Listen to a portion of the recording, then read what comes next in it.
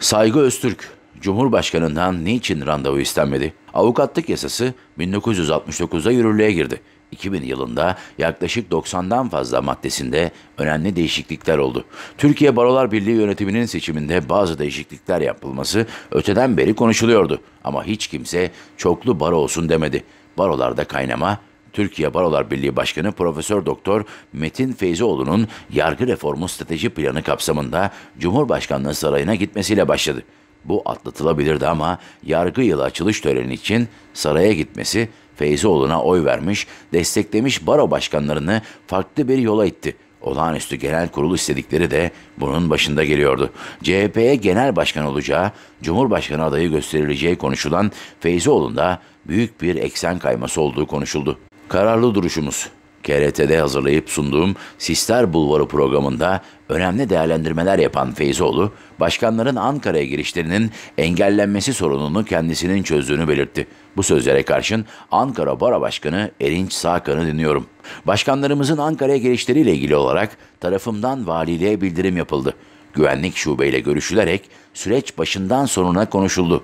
Baro başkanları durdurulduktan sonra çözüm için Vali Bey tarafımca arandı. Pandemi toplantısında olduğu için ilgili vali yardımcısı ile görüştüm. Ancak valilik tarafından çözüme dönük bir tavır sergilenmedi. Baro başkanlarının tamamı tüm bu hususlara şahittir. Sayın Feyzoğlu bu konuda gerçek dışı beyanlarda bulunuyor. Baro başkanlarından hiçbiri Feyzoğlu'na neden geç çözdün demedi. Hepsi arkasını dönerek saatlerdir neredesiniz, terk edin burayı dedi.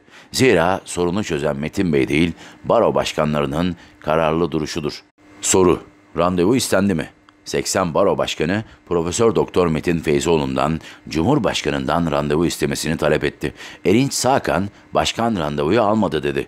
Buna ilişkin Hatay Barosu Başkanı Ekrem Düzgün'ün Türkiye Barolar Birliği Başkanlığı'na 16 Haziran'da yönelttiği soruları ve başkanlığın cevabını ortaya koyalım. Türkiye Barolar Birliği Başkanlığı'na Hatay Barosu Başkanlığımıza meslektaşlarımızdan sözlü artan talep ve şikayetler doğrultusunda aşağıda belirtilen hususlarda Barolar Birliği Başkanlığımızın cevaplarına ihtiyaç duyulmuş olup gelen sorular şu yöndedir. Sayın Cumhurbaşkanımızdan alternatif baro kurulması ile ilgili olarak bu meselenin başından beri tek muhatabı olan ve herkesin bu hususta hem fikir olduğu Birincisi, Türkiye Barolar Birliği ve 80 baro adına randevu istendi mi? İkincisi, Cumhurbaşkanlığından randevu istendiyse cevap verildi mi? Üçüncüsü, Cumhurbaşkanlığı tarafından cevap red mi edildi? Dördüncüsü, Cumhurbaşkanlığından hiç randevu istenmediyse neden istenmedi? Yukarıda bahse konu sorular yönünden başkanlığımızın yazılı cevabını beklediğimizi belirtir, gereğini bilgilerinize sunarız. Saygılarımızla. Cevap istenmedi. Baro Başkanı Avukat Ekrem Dönmez'in sorularına 8 Temmuz'da Barolar Birliği Başkan Yardımcısı Avukat Ünsal Toker tarafından verilen cevabı okuyalım. Hatay Barosu Başkanlığı'na. 16 Haziran 2020 tarihli ve 1284 sayılı yazınızda alternatif baro kurulması ile ilgili Cumhurbaşkanlığından herhangi bir randevu talep edilip edilmediği konusunda yazılı cevap verilmesi talep edilmektedir. Konu Türkiye Barolar Birliği Yönetim Kurulu'nun 26 Haziran 2020 günlü toplantısında gündemde değerlendirilmiş 5 üyenin karşı oyu ve başkanın toplantıya katılmaması sebebiyle karar çoğunluğu sağlanamadığından randevu talebi yapılamamıştır. Bilgilerinize sunarım saygılarımla.